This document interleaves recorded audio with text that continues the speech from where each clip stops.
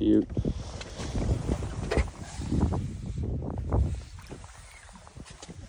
Wow, that's fun to watch them swim back.